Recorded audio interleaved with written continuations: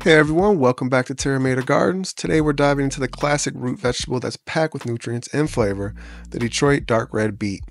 Whether you're an experienced gardener or just starting out, this beet variety is perfect for any garden.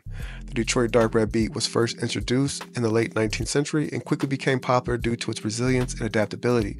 It was bred from older beet varieties and perfected by market gardeners in Detroit, Michigan, hence the name. It's been a trusted heirloom variety for over 100 years, prized for its reliable yields and high quality roots. This beet has stood the test of time and remains one of the most cultivated varieties around the world. The Detroit dark red beet produces round, globe shaped roots that can grow up to 3 inches in diameter. The skin is a dark reddish purple, and the flesh inside is a beautiful deep red with no zoning or streaks, which means a more consistent color when you cook or pickle them. The greens or beet tops are also are also edible and offer a tender texture and mild flavor, making them a nutritious addition to salads and stir fries. The entire plant is versatile, which is why it's a staple in many home gardens. The Detroit dark red beets are cool season vegetables, which means they grow best in cooler weather, either in the early spring or fall. They prefer full sun, but they can tolerate partial shade, especially in warmer climates.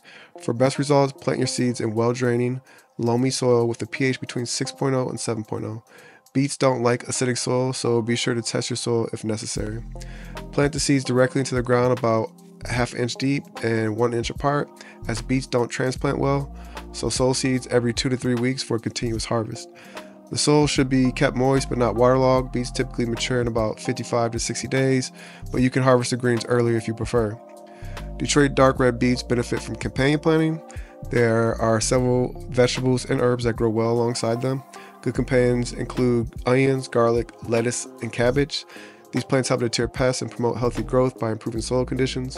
Avoid planting beets near pole beans as they can compete for nutrients and space. Additionally, beets pair well with herbs like mint and rosemary, which can help repel harmful insects. Beets are well known for their health benefits, and the Detroit dark red variety is no exception. They are rich in essential nutrients like folate, potassium, iron, and vitamin C.